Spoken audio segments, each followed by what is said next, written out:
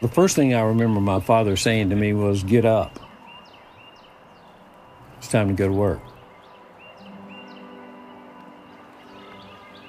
I didn't get taught how to cook. The taste, the wood heritage, it is part of North Carolina's DNA. You grew up with it. You just absorb what you see.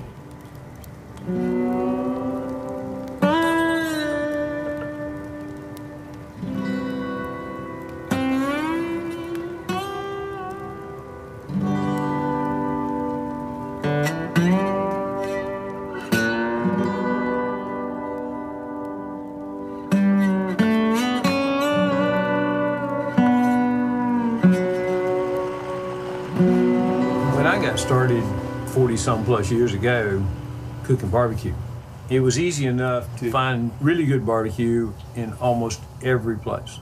It was a mom and pop's affair.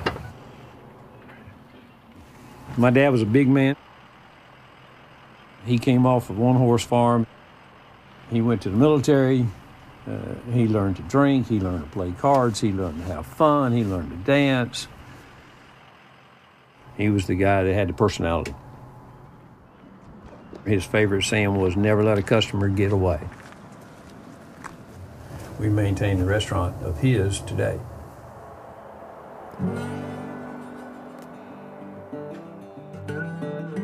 I usually get started at 2 in the morning, start the fire, throw a match to the wood. In between the 30 minutes or 15 minutes firing, you, you make pies, desserts, or whatever's necessary to be built for the restaurant. I have assembly people to put it together during lunch hour on the line. Other than that, all the food's prepared by me.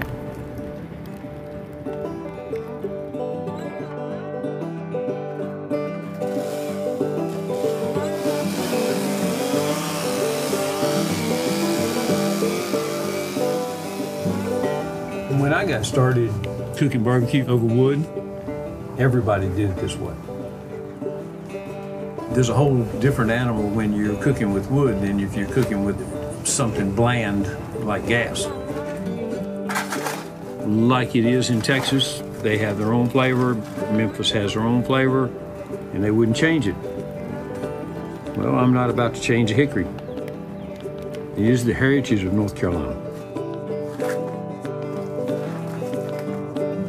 If you're not going to do it right, there's no point in getting up doing it at all.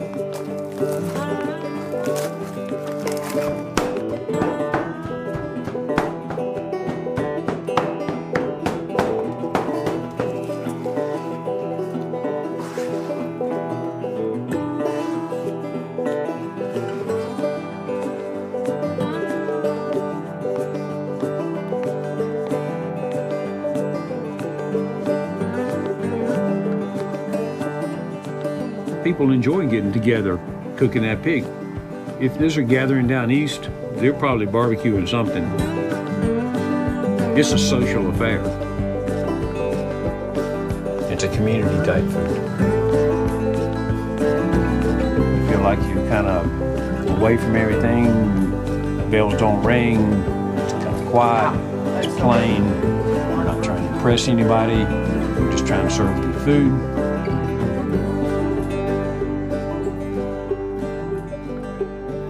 About. Serve that customer. I'm proud to know that I took my father's dream and made it happen for 40 years after he passed away. It's about pride of what you do, pride in, in the heritage of it. That's the reason the farmer plants a seed. That's the reason the guy gets up two o'clock in the morning, goes to work. He's trying to achieve something he's got in his head.